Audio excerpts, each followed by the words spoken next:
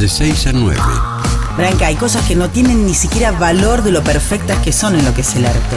Escuchás Mañanas Campestres. Por ejemplo, el David de Miguel Ángel, vos decís esto no tiene, no tiene valor. Le hubieran puesto un pito más grande al David.